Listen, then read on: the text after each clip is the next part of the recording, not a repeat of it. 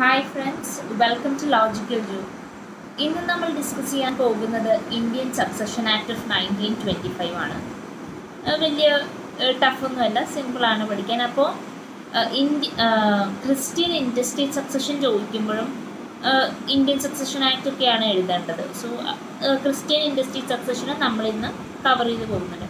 നമ്മളിന്ന് കവർ ചെയ്യാൻ ഉദ്ദേശിക്കുന്നത് മെയിൻലി മൂന്ന് കാര്യങ്ങളാണ്. ഒന്ന് ഡൊമിസൈൽ എന്താണ് ടൈപ്സ് ഓഫ് ഡൊമിസൈൽ എന്താണ് എന്നുള്ളതൊക്കെ. രണ്ടാമത് കോൺസാങ്വിനിറ്റിയുടെ അർത്ഥം എന്താണ്? മൂന്നാമത്തത് ക്രിസ്ത്യൻ ഇൻഡസ്ട്രി സക്സഷൻ ശരിക്കും ക്രിസ്ത്യൻ എന്ന് മാത്രം പറയാൻ പറ്റില്ല. നമുക്ക് features of Indian succession act പറയുമ്പോൾ പറയാം.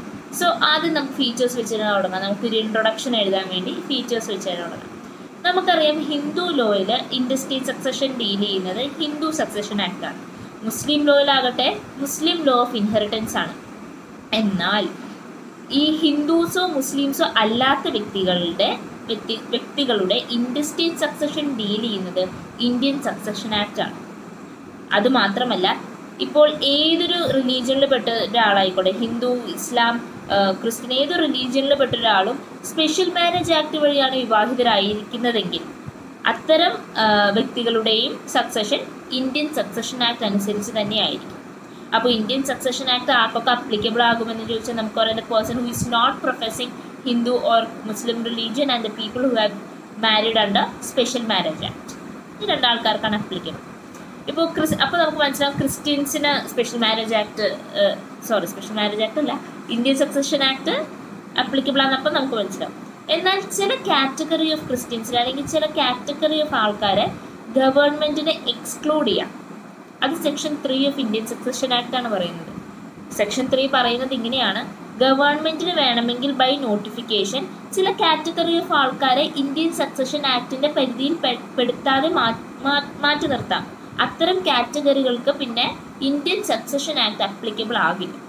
അതിന്റെ നല്ല ഉദാഹരണങ്ങളാണ് ഗോവൻ ക്രിസ്ത്യൻസ് കൂർഗ് ക്രിസ്ത്യൻസ് അതുപോലെ തന്നെ ക്രിസ്ത്യൻസ് ഇൻ നോർത്ത് ഈസ്റ്റ് ഇത്തരം ക്രിസ്ത്യൻസിനെ ഗവൺമെന്റ് ബൈ നോട്ടിഫിക്കേഷൻ മാറ്റി നിർത്തിയേക്കുകയാണ് സോ അത്തരം കാറ്റഗറി ഓഫ് ആൾക്കാർക്ക് Indian succession act nineteen twenty five applicable ആകില്ല. ഓക്കെ ഇൻട്രൊഡക്ഷൻ കിട്ടിയില്ല. ഇനി നമ്മൾ പഠിക്കാൻ പോകുന്നത് ഡൊമിസൈൽ എന്നാൽ എന്താണെന്ന് ഞാൻ പെർമനന്റ് ആയിട്ടൊരു സ്ഥലത്ത് താമസിക്കാൻ തീരുമാനിക്കുകയാണ്. അല്ലെങ്കിൽ ഞാൻ ഞാൻ അവിടെയാണ് ജീവിക്കാൻ ആഗ്രഹിക്കുന്നത്. ഇപ്പോൾ എനിക്ക് ജോലി സംബന്ധമായി വല്ല വേറെ കൺട്രിയിലേക്ക് പോകേണ്ടി വന്നാൽ പോലും ഞാൻ തിരിച്ചു വരാൻ ഉദ്ദേശിക്കുന്ന ഒരു കൺട്രി ഉണ്ട്. അതാണ് ഡൊമിസൈൽ എന്ന് പറയുന്നത്. A place where a person permanently decides to spend his life for example ഞാൻ ഇന്ത്യയിലാണ് ജനിച്ചത് പഠിച്ചത് വളരുന്നത്. ഇന്ത്യയിൽ ജീവിക്കാനാണ് എനിക്കിഷ്ടം. എന്നാൽ ഞാൻ രണ്ട് കൊല്ലം പഠിക്കാനായിട്ട് കാനഡയിൽ പോവുകയാണ്. കാനഡയിലോ മറ്റേത് രാജ്യങ്ങളിൽ മറ്റേതോ രാജ്യത്ത് ഞാൻ പോവുകയാണ് പഠിക്കാനായിട്ട്. അപ്പോൾ എന്റെ ഡൊമിസൈൽ കൺട്രി ഏതായിരിക്കും? എന്റെ ഡൊമിസൈൽ കൺട്രി ഇന്ത്യ ആയിരിക്കും ഞാൻ രണ്ട് കൊല്ലം റിസൈഡ് ചെയ്യുന്നുണ്ട് താമസിക്കുന്നുണ്ട് മറ്റു രാജ്യത്ത്. പക്ഷേ ഞാൻ തിരിച്ചു വരാൻ തിരിച്ച് പെർമനന്റ് ആയിട്ട് ജീവിക്കാൻ ആഗ്രഹിക്കുന്ന കൺട്രി അതാണ് ഡൊമിസൈൽ എന്നതുകൊണ്ട് അർത്ഥമാക്കുന്നത്. പിന്നെ ഡൊമിസൈൽ എന്തുകൊണ്ട് നമ്മൾ ഇത്ര ഇമ്പോർട്ടൻസ് കൊടുക്കണം? എന്തുകൊണ്ട് സിറ്റിസൺ എന്തുകൊണ്ട് ഒരു സിറ്റിസനെ സിറ്റിസൺഷിപ്പും ഡൊമിസൈലും നമ്മൾ നമ്മൾ വേർതിരിക്കണം എന്ന് ചോദിച്ചാൽ ഇന്ത്യൻ സക്സഷൻ ആക്ട് പറയുന്നത് ഒരു വ്യക്തി ഇന്ത്യയുടെ ഡൊമിസൈൽ സ്വീകരിച്ചാൽ ഇന്ത്യയിൽ പെർമനന്റ് ആയിട്ട് താമസിക്കാൻ തീരുമാനിച്ചിരിക്കുകയാണ് ആ വ്യക്തി. ഏതോ ഒരു രാജ്യത്തെ സിറ്റിസൺ ചിലപ്പോൾ ഇന്ത്യൻ സിറ്റിസൺ അല്ലെങ്കിൽ വേറെ ഏതോ രാജ്യത്തെ ഒരു സിറ്റിസൺ ഇന്ത്യയുടെ ഡൊമിസൈൽ സ്വീകരിക്കാൻ തീരുമാനിക്കുകയാണ്. ആ വ്യക്തിയുടെ മരണശേഷം. ആ വ്യക്തിക്ക് ഇന്ത്യയിൽ ഏതെങ്കിലും ഇമ്മൂവബിൾ പ്രോപ്പർട്ടി ഉണ്ടെങ്കിൽ അത് ഇന്ത്യൻ സക്സഷൻ ആക്ട് അനുസരിച്ചായിരിക്കും ഡിവൈഡ് ചെയ്യുന്നത് അതുകൊണ്ടാണ് നമ്മൾ ഡൊമിസൈലിന് അത്ര ഇമ്പോർട്ടൻസ് കൊടുക്കുന്നത്.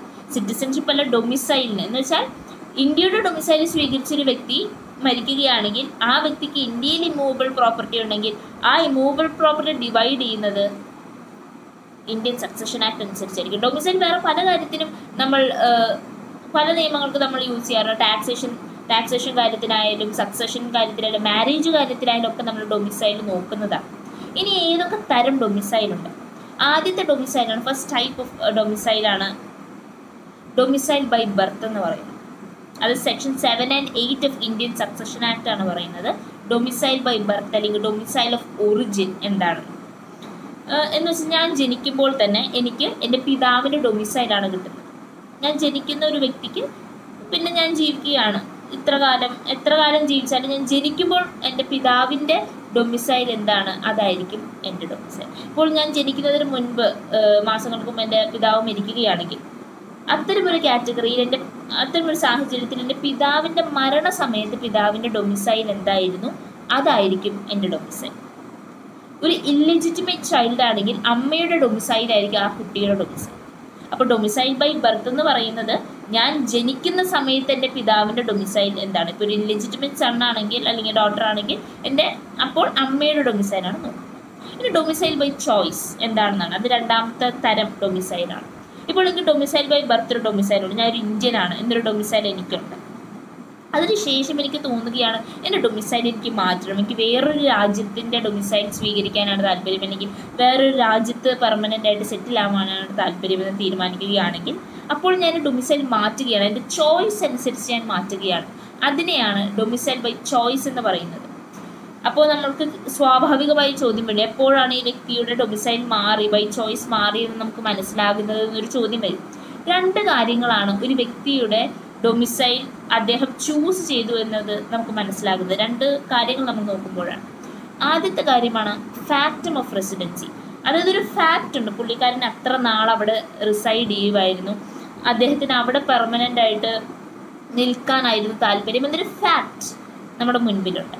അപ്പോൾ as he stay these many years out there and it is എന്താണ് visible that he wanted to be a permanent resident of that place അപ്പോൾ നമുക്ക് തീരുമാനിക്കാം.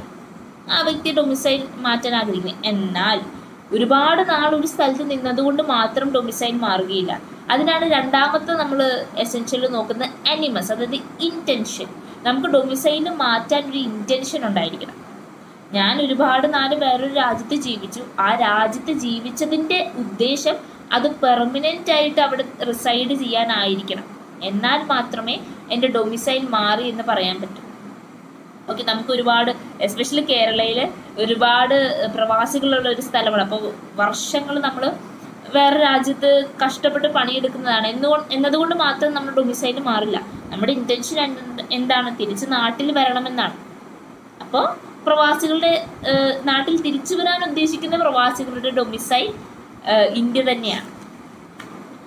ഇനി നമ്മൾ നോക്കുന്നത് domicile by operation of law മൂന്നാമത്തെ ഡൊമിസൈലാണ് domicile by operation of law അത് രണ്ട് സാഹചര്യങ്ങളിലാണ്. ഒന്നൊരു മൈനർ മൈനറുടെ ഡൊമിസൈൽ എന്തായിരിക്കും? പിതാവിന്റെ ഡൊമിസൈൽ ആയിരിക്കും. ഇല്ലെജിറ്റിമേറ്റ് കിഡ് ആണെങ്കിൽ അമ്മയുടെ ഡൊമിസൈൽ ആയിരിക്കും. അപ്പോൾ ഒരു മൈനറുടെ ഡൊമിസൈൽ ചൂസ് ചെയ്യാനുള്ള പ്രായം ആ വ്യക്തിക്കായിട്ടില്ല. അതുകൊണ്ട് തന്നെ ഒരു മൈനറുടെ ഡൊമിസൈൽ പാരന്റിന്റെ ഡൊമിസൈൽ ആയിരിക്കും. അതുപോലെ തന്നെ വൈഫിന്റെ ഡൊമിസൈൽ എന്താണെന്നൊരു ചോദ്യം വരാം. ഫോർ എക്സാമ്പിൾ വൈഫ് വേറൊരു രാജ്യത്തിൽ നിന്ന് ഇങ്ങോട്ട് വന്നതാണ്. എന്തായാലും ഒരു ഹസ്ബൻഡിന്റെ വീട്ടിൽ റിസൈഡ് ചെയ്യാൻ ഉദ്ദേശിക്കുന്ന ഒരു വൈഫാണെങ്കിൽ ഡൊമിസൈൽ മാറും. അപ്പോൾ വൈഫിന്റെ ഡൊമിസൈൽ ഹസ്ബൻഡിന്റെ ഡൊമിസൈലാണ് എന്നാണ് നിയമം പറയുന്നത്. ബൈ ഓപ്പറേഷൻ ഓഫ് ലോ വൈഫിന്റെ ഡൊമിസൈൽ ഹസ്ബൻഡിന്റെ ഡൊമിസൈലാണ് എന്നാൽ അവർ ഡിവോഴ്സ് ആവുകയോ സെപ്പറേറ്റ് ആവുകയോ ചെയ്താൽ ഹസ്ബൻഡിന്റെ ഡൊമിസൈൽ തന്നെ ഫോളോ ചെയ്യണമെന്ന് നിർബന്ധമൊന്നുമില്ല. അതുപോലെ തന്നെ ഹസ്ബൻഡിന്റെ മരണശേഷം ഹസ്ബൻഡ് മരിച്ചാൽ കൂടി നമുക്ക് ഹസ്ബൻഡിന്റെ ഡൊമിസൈൽ ആയിരിക്കുള്ളൂ. അല്ലെങ്കിൽ ബൈ ചോയ്സ് നമ്മൾ മാറ്റണം. ഇപ്പോൾ മരിച്ചുപോയ ഹസ്ബൻഡിന്റെ ഡൊമിസൈൽ ഫോളോ ചെയ്യാൻ എനിക്ക് താല്പര്യമില്ലെങ്കിൽ ഞാൻ എന്റെ ഡൊമിസൈൽ ബൈ ചോയ്സ് മാറ്റണം. എന്നാൽ മാത്രമേ എന്റെ ഡൊമിസൈൽ മാറുകയുള്ളൂ. അല്ലെങ്കിൽ എന്റെ മരിച്ചുപോയ ഹസ്ബൻഡിന്റെ സെയിം ഡൊമിസൈൽ ആയിരിക്കും എന്റെ. ഓക്കെ അപ്പോൾ ഡൊമിസൈൽ ക്ലിയർ ആയെന്ന് വിശ്വസിക്കുന്നു. ഇനി നമ്മൾ കോൺസാങ്വിനിറ്റി എന്താണെന്നാണ് നോക്കുന്നത്. പേര് കേട്ട് പേടിക്കുന്നു വേണ്ട. നിസ്സാരമായ കാര്യമാണ് ഈ കോൺസാങ്വിനിറ്റി എന്ന് പറയുന്നത്. ഒരു ആൻസിസ്റ്ററിൽ നിന്ന് വരുന്ന ജനറേഷൻസിനെ വിളിക്കുന്ന പേരാണ് കോൺസാങ്കുനിറ്റി എന്ന് വെച്ചാൽ നമ്മുടെ അപ്പാപ്പന്മാരുടെ കൈ അപ്പാ നമ്മുടെ അപ്പാപ്പൻ എക്സാമ്പിൾ എടുക്കാം. നമ്മുടെ അപ്പാപ്പനിൽ നിന്നാണ് നമ്മുടെ മാതാപിതാക്കളും നമ്മുടെ ജനറേഷനും നമ്മുടെ നമ്മുടെ കുട്ടികളുടെ ജനറേഷനും വരാൻ പോകും അപ്പോൾ അത്ര അത്ര ജനറേഷൻസിന്റെ കോമൺ ആൻസിസ്റ്റർ ആരാണ്? നമ്മുടെ അപ്പാപ്പനാണ്. നമ്മുടെ അപ്പാപ്പനും അപ്പാപ്പന്മാരുണ്ടായിരിക്കാം. ഓക്കെ സോ നമ്മളെല്ലാവരും അപ്പോൾ നമ്മൾ നോക്കുമ്പോൾ ഒരുപാട് റിലേഷൻ ഒരു കോമൺ ആൻസിസ്റ്ററിൽ നിന്നാണ് വരുന്നത്. അത്തരം റിലേഷൻസിനെയാണ് കോൺസാങ്വിനിറ്റി എന്ന് വിളിക്കുന്നത്. ഇപ്പോൾ കസിൻസ് തമ്മിൽ ഒരു കോൺസാങ്വിൻ റിലേഷൻ ഉണ്ട്. അവരുടെ അപ്പാപ്പൻ ഒരു കോമൺ ആൻസിസ്റ്ററാണ് അപ്പോൾ അവർ കോൺസാങ്വിൻ റിലേഷനിൽ പെട്ട ആൾക്കാരാണ്. ഓക്കെ അപ്പോൾ കോൺസാങ്വിനിറ്റി എന്ന് വെച്ചാൽ ക്ലിയർ അല്ലേ? ഒരു കോമൺ ആൻസിസ്റ്ററിൽ നിന്ന് വരുന്ന ജനറേഷൻസ് രണ്ട് തരം കോൺസാങ്ക്വിനിറ്റി ഉണ്ട്. അത് സെക്ഷൻ ട്വന്റി ഫൈവ് ആണ് പറയുന്നത് ലീനിയർ കോൺസാങ്ക്വിനിറ്റി അതായത് എന്റെ അപ്പാപ്പൻ എന്റെ അപ്പ ഞാൻ എന്റെ മക്കൾ എന്റെ പേരമക്കൾ എന്റെ ഗ്രേറ്റ് ഗ്രാൻഡ് ചിൽഡ്രൻ അപ്പോൾ ഒരു ലീനിയർ ലൈൻ നമുക്ക് കാണാം. അതാണ് ലീനിയൽ കോൺസാങ്ക്വിനിറ്റി എന്ന് പറയുന്നത്. ഒരു ലൈൻ ഓഫ് ഒരു സ്ട്രൈപ്പ് ഒരു ലൈൻ കറക്റ്റായിട്ട് വരുന്നുണ്ട്. അതാണ് ലീനിയൽ കോൺസാങ്ക്വിനിറ്റി എന്ന് പറയുന്നത്. അതേസമയം collateral consanguinity section twenty six പറയുന്നുണ്ട്. അതെന്താണ്? എന്റെ ബ്രദർ എന്റെ ബ്രദറിന്റെ കൊളാട്രൽ കോൺസാങ്ക്വിൻ ആണ്. കാരണം എന്റെ ലീനിയൽ ലീനിയലി അല്ല വരുന്നത്. ഓക്കെ എന്റെ പിതാവോ എന്റെ മകനോ മകളോ അല്ല എന്റെ ബ്രദറോ സിസ്റ്ററോ എന്ന് പറയുന്നത്. അതെന്റെ സൈഡ് വരുന്ന റിലേഷനാണ് ഞങ്ങൾ രണ്ടുപേരും കോൺസാങ്ക്വിൻ ആണ്. കാരണം എന്താണ്? ഞങ്ങൾക്കൊരു കോമൺ ആൻസിസ്റ്റർ ആണ് ഞങ്ങളുടെ പിതാവ്. എന്നാൽ കൂടി ഞങ്ങൾ ലീനിയൻ കോൺസാങ്ക്വിൻ അല്ല കൊളാട്രൽ കോൺസാങ്ക്വിൻ ആണ്. അതുപോലെ തന്നെ എന്റെ അങ്കിൾ എന്റെ കസിൻ എന്റെ സെക്കൻഡ് കസിൻ അങ്ങനെ അങ്ങനെ പോകുന്നവരെല്ലാം എന്റെ കൊളാട്രൽ കോൺസാങ്ക്വിൻ ആണ്. എന്റെ ലീനിയൽ കോൺസാങ്ക്വിൻ അല്ലാത്ത എല്ലാവരും എന്റെ കൊളാട്രൽ കോൺസാങ്ക്വിൻ ആണ്. എന്റെ ലീനിയൽ കോൺസാങ്ക്വിൻ ആർക്ക് ആകാം? എന്റെ മാതാവിനും പിതാവിനും ആകാം. എന്റെ ഗ്രാൻഡ് പാരൻസിനാകാം എന്റെ ഗ്രേറ്റ് ഗ്രാൻഡ് പാരൻസിനാകാം എന്റെ ചിൽഡ്രൻ ആകാം. എന്റെ ഗ്രേറ്റ് എന്റെ ഗ്രാൻഡ് ചിൽഡ്രൻ ആകാം. എന്റെ ഗ്രേറ്റ് ഗ്രാൻഡ് ചിൽഡ്രൻ ആകാം. ഓക്കെ അതാണ് ലീനിയർ കോൺസാങ്കുനിറ്റി എന്ന് പറയുന്നത്. അപ്പോൾ സെറ്റല്ലേ ഇനി നമ്മൾ പഠിക്കാൻ പോകുന്നതാണ് ഈ industrial succession mainly Christian industrial succession എന്ന് വെച്ചാൽ Indian succession act put forward ചെയ്യുന്ന ഇൻഡസ്ട്രിയൽ സക്സഷൻ അപ്പോൾ ഈ ഇതിന്റെ ഉത്തരം നമ്മൾ എഴുതുമ്പോൾ അല്ലെങ്കിൽ ഏതെങ്കിലും പത്ത് മാർക്കിന്റെ ചോദ്യം വരാണെങ്കിൽ തന്നെ എഴുതുമ്പോൾ നമ്മൾ ആദ്യം ജനറൽ പ്രിൻസിപ്പിൾസ് എഴുതണം. അതിനുശേഷം ഓർഡർ എങ്ങനെയാണ് ആർക്കൊക്കെയാണ് പോകുന്നതെന്ന് എഴുതണം. അതിനുശേഷം ആർക്കൊക്കെ എത്ര കിട്ടും എന്ന് എഴുതണം. ഡിസ്ട്രിബ്യൂഷൻ ഈ മൂന്ന് കാര്യം സ്ട്രക്ചറിൽ എഴുതിയാൽ നമുക്ക് നല്ല മാർക്ക് സ്കോർ ചെയ്യാൻ സാധിക്കും. ആദ്യം നമുക്ക് ജനറൽ പ്രിൻസിപ്പിൾസ് നോക്കാം. ജനറൽ പ്രിൻസിപ്പിൾസിൽ ആദ്യ കാര്യമാണ് സർവൈവിങ് സ്പൗസ് ഓൾവേസ് സക്സീഡ്സ് വെച്ചാൽ ഞാൻ മരിക്കുമ്പോൾ എന്റെ സ്പൗസ് എന്റെ ഭർത്താവ് തീർച്ചയായും പ്രോപ്പർട്ടിക്ക് അർഹനാണ്. വൺ തേർഡ് ഓഫ് എന്റെ പ്രോപ്പർട്ടി എന്റെ എനിക്ക് എനിക്ക് മക്കൾ മക്കളും ഭർത്താവും ഉണ്ടെങ്കിൽ എന്റെ മരണശേഷം എന്റെ വൺ തേർഡ് പ്രോപ്പർട്ടി എന്റെ ഭർത്താവിനും ബാക്കി ടു തേർഡ് എന്റെ മക്കൾ ഈക്വലി ഡിവൈഡ് ചെയ്ത് കൊടുക്കണം. ഓക്കെ അപ്പം എന്റെ സർവൈവിങ് സ്പൗസ് ഓൾവേസ് സക്സീഡ് ഇപ്പം എനിക്ക് മക്കളില്ലാതെയാണ് ഞാൻ മരിക്കുന്നതെങ്കിൽ എന്റെ പകുതി പ്രോപ്പർട്ടി ഭർത്താവിനും ബാക്കി മറ്റു റിലേറ്റീവ്സിനാണ് ഡിവൈഡ് ചെയ്തെടുക്കുന്നത്. രണ്ടാമത്തെ ഒരു ഇമ്പോർട്ടന്റ് കാര്യം അത് പത്ത് മാർക്കിന്റെ രണ്ട് പ്രാവശ്യം ചോദിച്ച ഒരു മേഖലയാണ് രണ്ടാമത്തെ കാര്യം എന്ന് പറയുന്നത്. അത് ശ്രദ്ധിച്ചു കേട്ടോളൂ. ലീനിയൽ ഡിസെൻഡൻസ് അതായത് എന്റെ മക്കൾ പേരമക്കൾ അപ്പോൾ ലീനിയൽ ഡിസെൻഡൻസ് അങ്ങനെയാണ് പേരമക്കൾ ഗ്രേറ്റ് ഗ്രാൻഡ് ചിൽഡ്രൻ അതാണ് ലീനിയൽ ഡിസെൻഡൻസ് എന്ന് പറയുന്നത്. ലീനിയൽ ഡിസെൻഡൻസ് സെയിം ഡിഗ്രിയിലാണെങ്കിൽ അവർ പെർ ക്യാപിറ്റി അനുസരിച്ചായിരിക്കും പ്രോപ്പർട്ടി എടുക്കുന്നത്. അതായത് എന്റെ മക്കൾ ആരും ജീവിച്ചിരിപ്പില്ല. എന്റെ മരണശേഷം ഞാൻ നോക്കുമ്പോൾ എന്റെ മക്കൾ ആരും ജീവിച്ചിരിപ്പില്ല. എന്റെ പേരമക്കൾ എല്ലാവരും ജീവിച്ചിരിപ്പുണ്ട്. അങ്ങനെയാണെങ്കിൽ എന്റെ പേരമക്കൾ എല്ലാവരും പെർ ക്യാപിറ്റ അനുസരിച്ചാണ് പ്രോപ്പർട്ടി കിട്ടുന്നത്. പെർ സ്ട്രൈപ്പ് അനുസരിച്ചല്ല. മുമ്പ് നമ്മൾ പഠിച്ചിട്ടുണ്ട് പ്രീ ഡിസീസ്ഡ് സണ്ണിന്റെ സണ്ണൊക്കെ ആണെങ്കിൽ പെർ സ്ട്രൈപ്പ് അനുസരിച്ചേ കിട്ടുള്ളൂ എന്ന്. എന്നാൽ ക്രിസ്ത്യൻ ലോയുടെ പ്രത്യേകത എന്ന് പറയുന്നത് മക്കൾ ആരും ജീവിച്ചിരിപ്പില്ല. അങ്ങനെ ഒരു സാഹചര്യത്തിൽ ഒരു ഡിഗ്രിയിൽപ്പെട്ട ഗ്രാൻഡ് ചിൽഡ്രൻ ഒക്കെ ജീവിച്ചിരിപ്പുണ്ട്. എന്നൊരു ഡിഗ്രിയിൽ ഒരു ഡിഗ്രിയിൽപ്പെട്ട ആൾക്കാർ ജീവിച്ചിരിക്കുന്നുണ്ടെങ്കിൽ അവരെല്ലാവരും പെർ ക്യാപിറ്റ അനുസരിച്ചായിരിക്കും പ്രോപ്പർട്ടി എടുക്കുന്നത്. അതേസമയം എന്റെ മക്കളിൽ എന്റെ മൂന്ന് മക്കളിൽ രണ്ട് മക്കളെ മരിച്ചിട്ടുള്ളൂ. ഒരു മകൻ ജീവിച്ചിരിക്കുന്നുണ്ടെങ്കിൽ എന്റെ മകന് പെർ ക്യാപിറ്റ അനുസരിച്ചും എന്റെ പേരക്കുട്ടികൾക്ക് പെർ സ്ട്രൈപ്പ് അനുസരിച്ചുമായിരിക്കും. അത് നമുക്കൊരു പ്രോബ്ലം ചെയ്തിട്ട് നമുക്ക് നോക്കാം. അപ്പോൾ നമുക്ക് ക്ലിയർ ആയിരിക്കും. ഒരു പ്രോബ്ലമാണ് Christ Christian had three children John Mary and Henry.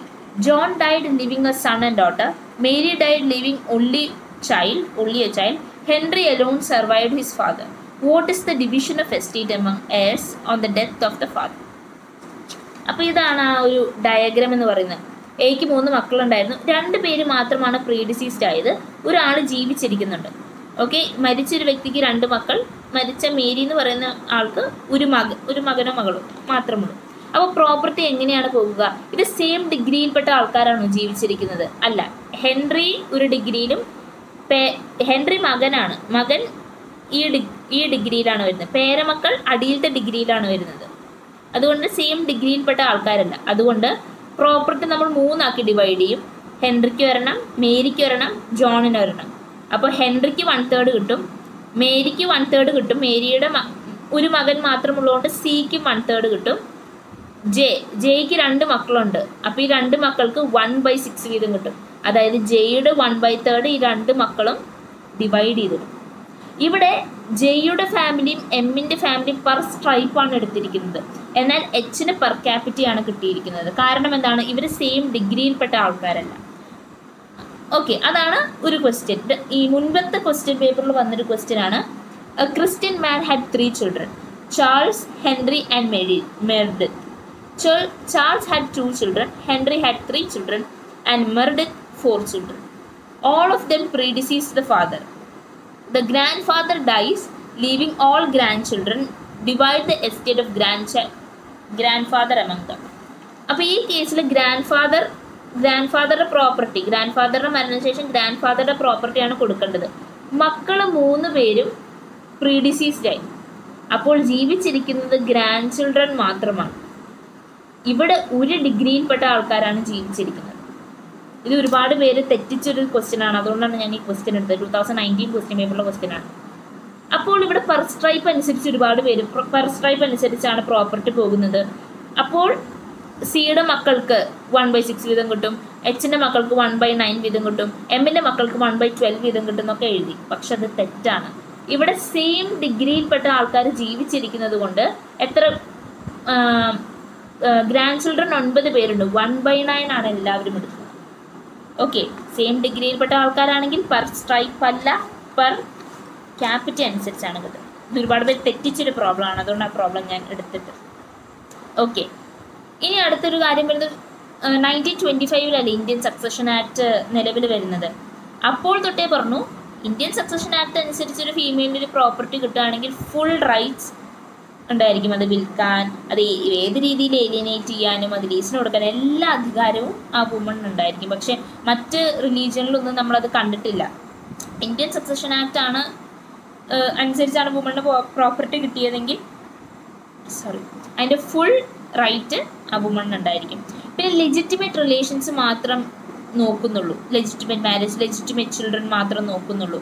Indian succession act ലെജിമേ ഇല്ലെജിറ്റിമേറ്റ് ചിൽഡ്രനെ ഇൻക്ലൂഡ് ചെയ്യുന്നില്ല. അതുപോലെ തന്നെ അഡോപ്റ്റഡ് ചിൽഡ്രന് ക്രിസ്ത്യാനിറ്റി സമ്മതിക്കുന്ന ക്രിസ്ത്യാനിറ്റി അലൗ ചെയ്യുന്നില്ല ടു അഡോപ്റ്റ് ചൈൽഡ് അതുകൊണ്ട് തന്നെ അഡോപ്റ്റഡ് ചൈൽഡിന് ഇൻഡസ്ട്രിയൽ സക്സഷൻ വരെ പ്രോപ്പർട്ടി കിട്ടില്ല. നമ്മൾ വിൽപത്രം എഴുതിയാൽ മാത്രമേ ആ വ്യക്തിക്ക് പ്രോപ്പർട്ടി കിട്ടുകയുള്ളൂ. പിന്നെ വരുന്നൊരു കാര്യമാണ്.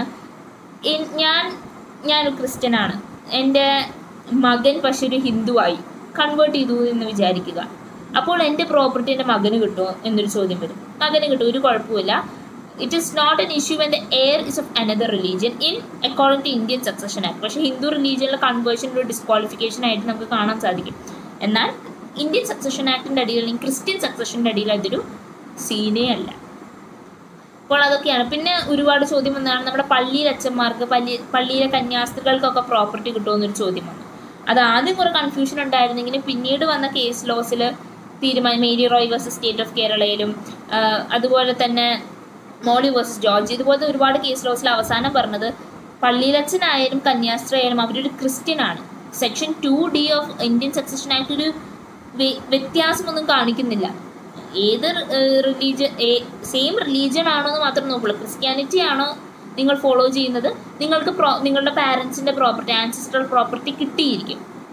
ഓക്കെ നമ്മുടെ ഇന്ത്യൻ സക്സഷൻ ആക്ട് കന്യാസ്ത്രീ അല്ലെങ്കിൽ പള്ളിയിലച്ഛന് വ്യത്യാസം കാണുന്നില്ല. അവർക്ക് പ്രോപ്പർട്ടി കിട്ടാൻ പാടില്ല എന്നൊന്നും പറയുന്നില്ല. പണ്ട് കുറേ കേസ് ലോസ് ഉണ്ടായിരുന്നു. ഇപ്പോൾ അങ്ങനെയൊന്നുമില്ല. ഇനി അപ്പോൾ നമ്മുടെ ജനറൽ പ്രിൻസിപ്പിൾസ് കഴിഞ്ഞിരിക്കുകയാണ്. ഇനി നമ്മൾ ഓർഡർ ഓഫ് സക്സഷൻ ആണ് പഠിക്കുന്നത്. അപ്പോൾ ഈ ഓർഡർ അനുസരിച്ചായിരിക്കും ആൾക്കാർക്ക് പ്രോപ്പർട്ടി കിട്ടുന്നത്. ആദ്യം ഞാൻ പറഞ്ഞ പോലെ തന്നെ ക്ലാസ് വണ്ണിൽ പെട്ടതാണ് സർവൈവിങ് സ്പൗസ് സർവൈവിങ് ഞാൻ പറഞ്ഞു സർവൈവിങ് സ്പൗസിന് എപ്പോഴും പ്രോപ്പർട്ടി കിട്ടും.